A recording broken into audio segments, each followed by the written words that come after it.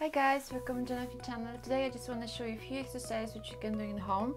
Obviously I always recommend to do exercise outside and right now we've got winter time so obviously it's awesome because you can you know burning fat very quickly but I have a good permission, sorry guys, I'm pregnant. This is my third pregnancy and this is my fourth and nearly fifth month of when my baby growing so I'm really really happy and I'm going to do exercise to the end of my pregnant I can't recommend it for everyone because if you haven't been active before, so probably you have to start from yoga exercise or stretching or you can go swim. But if you have been active like me before and you've got green light from your physician, that's a really good time to do exercise. Obviously we won't be doing exercise with really heavy weight like 30 kilograms or like like I was doing before. But for example, I was choosing um, I has chosen 2 kilogram to dumbbells. And sometimes I'm doing exercise with 4 kilogram and this is definitely enough for me.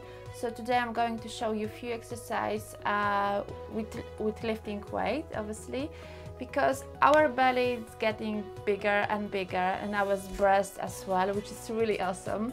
Many women complain about you know pain of back. So those exercises will be focused to reinforce our back and to make we will be less suffer guys you've got lots of information on my website www.janafitchannel.com and you've got lots of information about nutrition and how to do exercise. Obviously if you are not pregnant you can go and check because you've got plenty exercise what you, a kind of exercise you can do with lifting weight.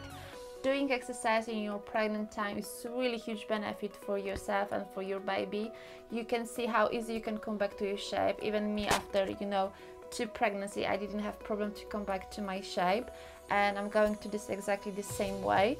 In my opinion first three months you can just stop doing exercise. If you feel very good that's fine you can do something. But for example I had to spend three months in my bed.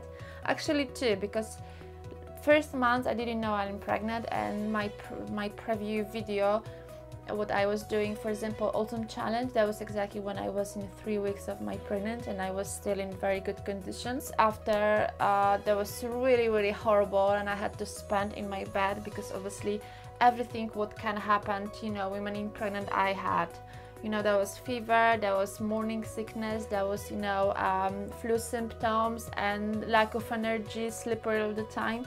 So that was really difficult time for me, but finally everything ended and I can start doing exercise right now with you. So really apologize for this, you know, um, lack of my video last time, uh, last period, but you had to understand the situation.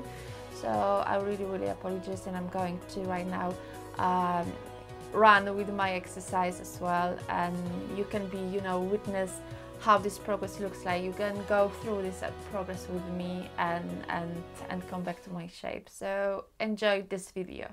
Cheers!